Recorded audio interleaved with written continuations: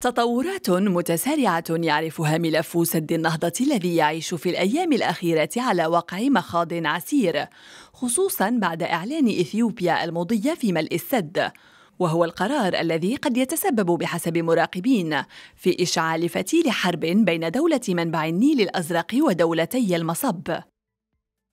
قرار كثفت معه مصر والسودان الاتصالات والمشاورات قبل جلسة مجلس الأمن بالأمم المتحدة والمقررة غدا الخميس على أمل دعم موقفهما وتأييد دعوتهما بضرورة التوصل لاتفاق ملزم قانونا حول ملء وتشغيل السد.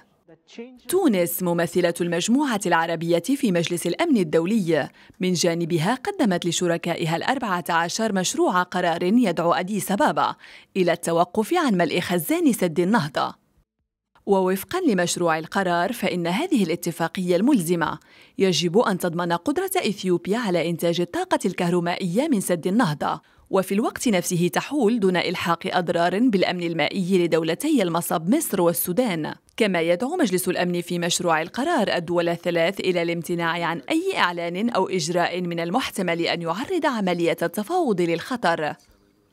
البرلمان العربي وفي رسالة بعث بها رئيسه عادل عبد الرحمن العسومي إلى رئيس مجلس الأمن الدولي طالبه فيها بأن يطلع بمسؤولياته التي أوكلها إليه المجتمع الدولي للحفاظ على السلم والأمن الدوليين وأن يتخذ موقفا ملزما يفضي إلى التوصل إلى اتفاق عادل بشأن قواعد ملء وتشغيل سد النهضة الإثيوبي.